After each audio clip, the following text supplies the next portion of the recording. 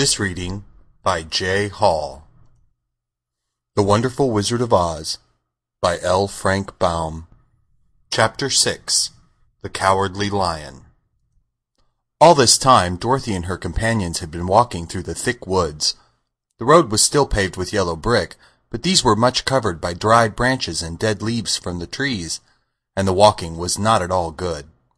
There were few birds in this part of the forest, for birds love the open country where there is plenty of sunshine. But now and then there came a deep growl from some wild animal hidden among the trees.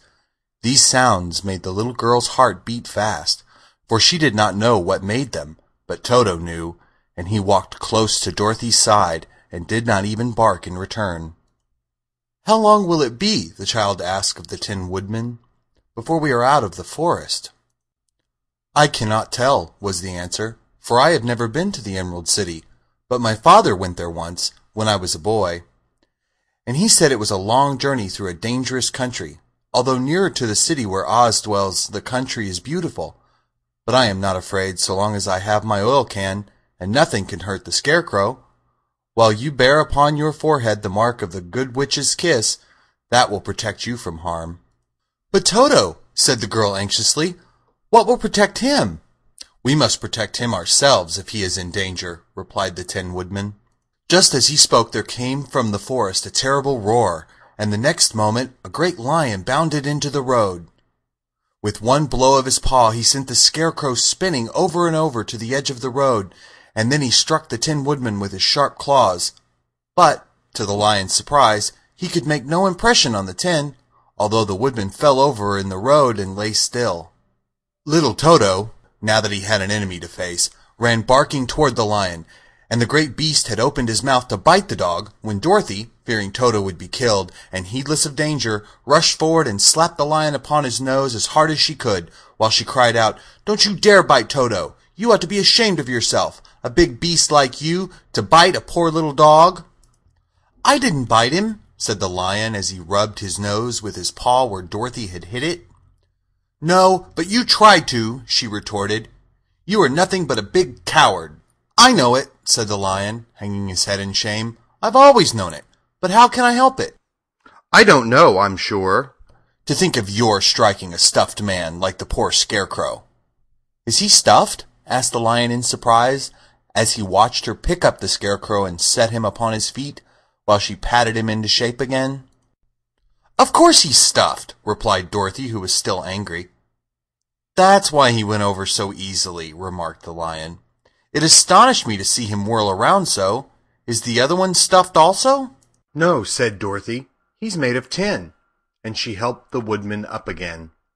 That's why he nearly blunted my claws, said the lion. When they scratched it against the tin, it made a cold shiver run down my back. What is that little animal you are so tender of? He is my dog, Toto, answered Dorothy. Is he made of tin or stuffed? asked the lion. Neither. He's, um, uh, uh, meat dog, said the girl. Oh, he's a curious animal, and seems remarkably small.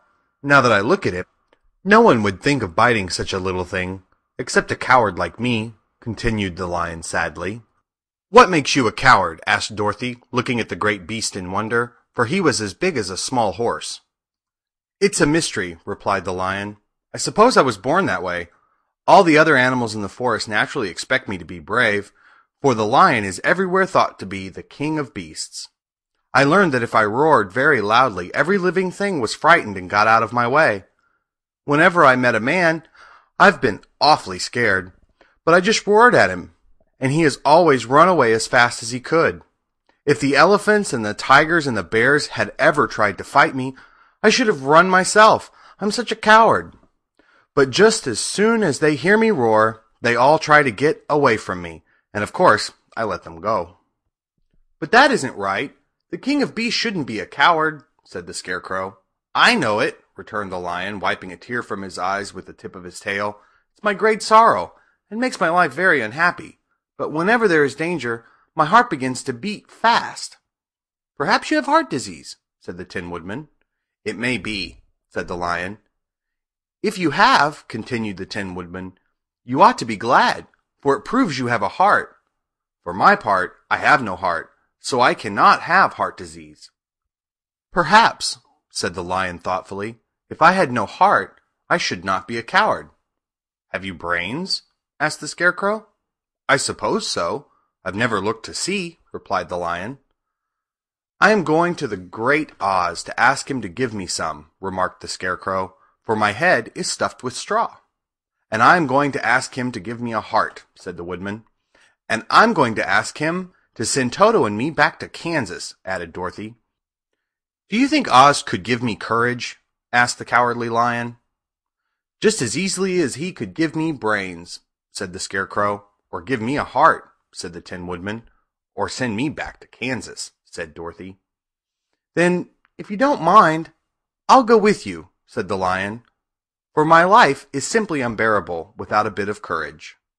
You will be very welcome, answered Dorothy, for you will help to keep away the other wild beasts. It seems to me that they must be more cowardly than you are if they allow you to scare them so easily.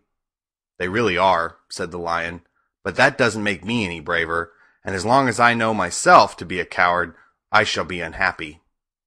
So once more the little company set off upon the journey, the lion walking with stately strides at Dorothy's side. Toto did not approve this new comrade at first, for he could not forget how nearly he had been crushed between the lion's great jaws. But after a time he became more at ease, and presently Toto and the cowardly lion had grown to be good friends. During the rest of that day there were no other adventures to mar the peace of their journey. Once, indeed, the Tin Woodman stepped upon a beetle that was crawling along the road, and killed the poor little thing. This made the Tin Woodman very unhappy, for he was always careful not to hurt any living creature.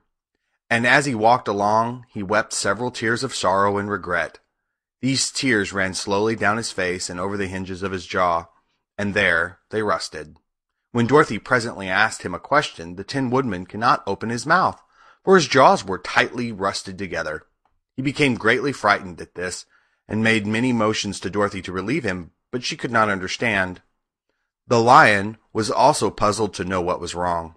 But the scarecrow seized the oil can from Dorothy's basket and oiled the woodman's jaws, so that after a few moments he could talk as well as before. This will serve me a lesson, he said, to look where I step. For if I should kill another bug or beetle, I should surely cry again, and crying rusts my jaws so that I cannot speak. Thereafter he walked very carefully, with his eyes on the road, and when he saw a tiny ant trolling by he would step over it, so as not to harm it. The Tin Woodman knew very well he had no heart, and therefore he took great care never to be cruel or unkind to anything.